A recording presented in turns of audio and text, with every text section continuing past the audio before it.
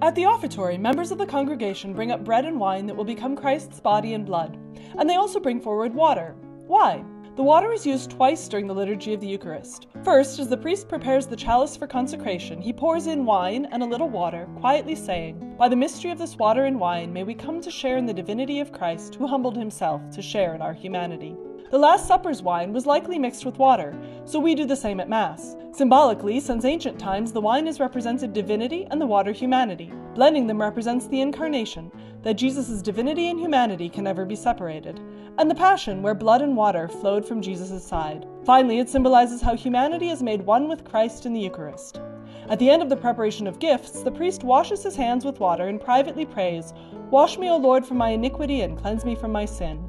Like Old Testament priests in the temple, it is a symbolic purification before consecrating the Eucharist. We too seek greater purity of heart before the Eucharist.